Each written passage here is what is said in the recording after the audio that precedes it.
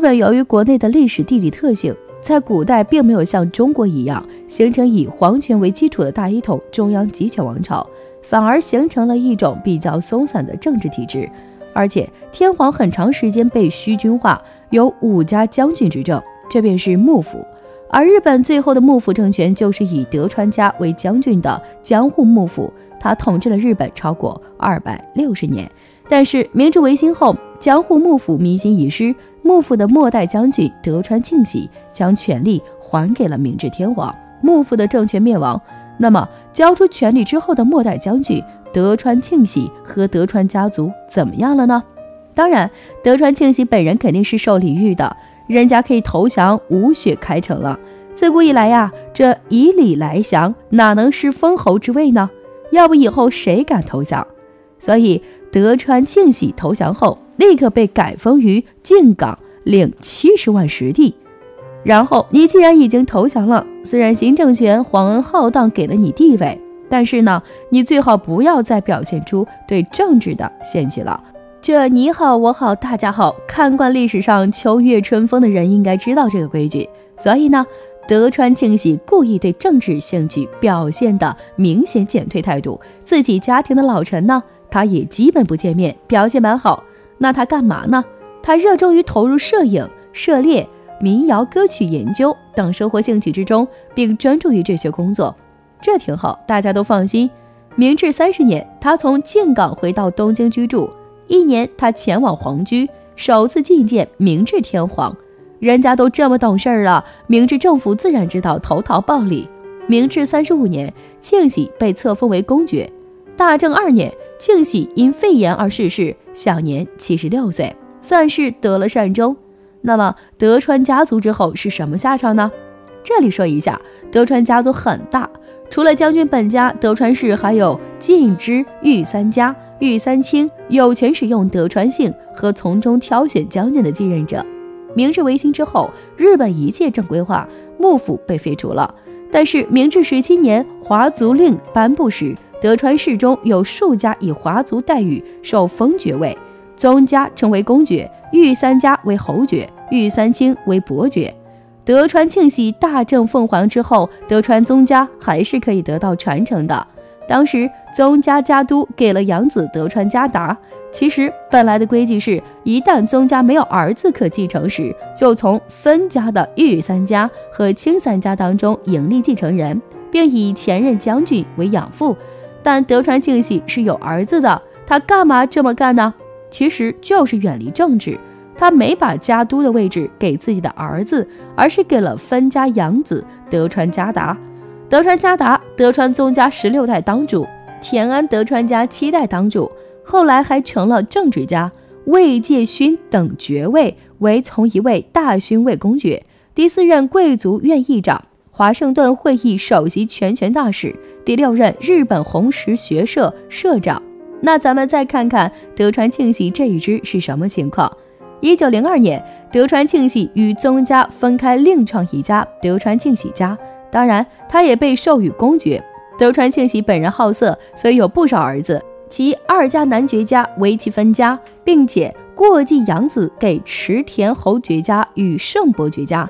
嫌疑人亲王妃喜久子是第二代庆久的女儿，看来还攀上了皇族亲家。近年来，德川庆朝与神原喜佐子出版了关于德川庆喜家的书籍。二零一七年九月二十五号，德川庆朝逝世，没有指定当主继承人，德川庆喜家宣告断绝。估计如果这一家还在，日本很多小报媒体都会争相采访吧。那德川本家现在还在吗？还在。德川家达去世后，德川本家第十七代家主给了其长子德川家政，曾出任日本驻土耳其大使，后来担任第十三代贵族院议长。二次大战以后，因为贵族院被废止，成为最后一位贵族院议长。一九六三年去世。他去世后，把位置给了外孙兼养子德川恒孝。此人就是现在的德川宗家。他是日本的企业家，世界自然基金会日本理事，平成二十四年成为靖港商会最高顾问。其子德川家广是一位经济评论员，同时为翻译家及作家。二零零三年，十八代当主横孝为了管理宗家留下的重要财产，设立财团法人德川纪念财团。一直到现在，虽然已经丧失了对日本的统治权，并且不可能再恢复，但德川家在日本也算是个有头有脸的大家族了。至于其他尾张德川家、冀州德川家、水户德川家等分家呢，也差不多是比较有实力的大家族。说回到德川家康，他无疑是公认的一位狡猾型的战国枭雄，就连后来统一日本的丰臣秀吉，其实也没能战胜过他。在小牧长久手之战中，其实丰臣秀吉并没能战胜德川家康，一度战况还对德川军有利，双方后来通过外交才达成臣属关系。德川家康在丰臣秀吉死后，经过数场大战，又夺取了日本全国的大权。德川家康一生的最大业绩在于他继之田信长、丰臣秀吉之后，改组和强化了日本的封建秩序，把日本封建社会推向了一个新的阶段。但就是这样一位声名赫赫的战国霸主，却也有着他非常害怕的一个人。德川家康甚至称他是自己的偶像，一生中最害怕的人就是他。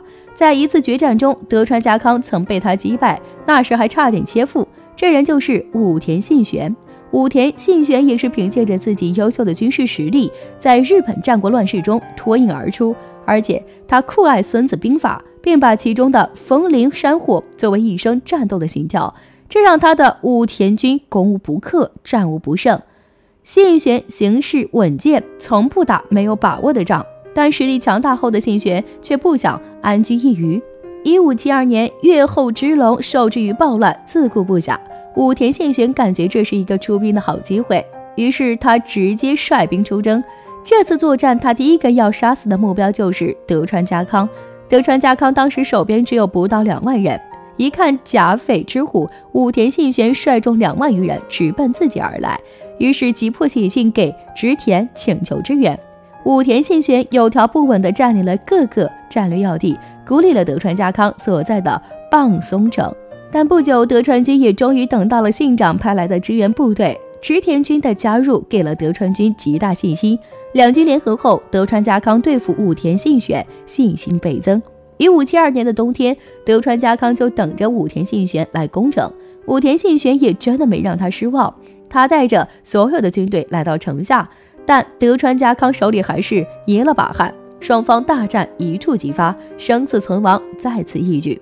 但此时令他深感意外的是，武田信玄的军队突然兵锋一转，理都不理城内的德川他们，而是向三方原的方向行进，而那个地方对武田军作战是不利的。德川家康觉得自己受到了侮辱。他也认为武田信玄是害怕了，不敢攻打自己，于是他一声令下，率领城内联军主动出击。而其实这样正中武田信玄下怀，这一切都在信玄的掌握之中。战前，武田信玄就是想找一个对敌方有利的地形，然后将他们引诱出来。而武田信玄早已布下伏兵，于是十二月二十二下午。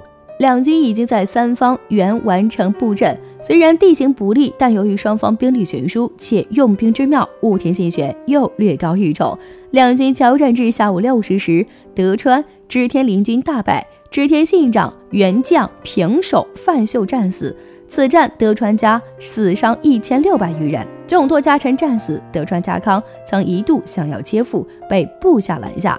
面对绝境，德川家康部下分四批陆续扮成德川家康，主动吸引武田信玄军兵力。德川家康本人最终在家臣拼命保护下，才幸运的突围逃回棒松城。然而，就在形势一片大好的情况下，武田信玄并没有乘胜进军，扩大战果，而是很快就率军撤退了，因为武田信玄病倒了。德川家康的惨败，武田信玄本来打算下一个打击目标织田信长。他也早已做好充分准备。当时所有人都认为信玄才是统一天下的不二人选，但武田信玄在即将实现梦想时却身体不行了。武田信玄就这样意外病逝。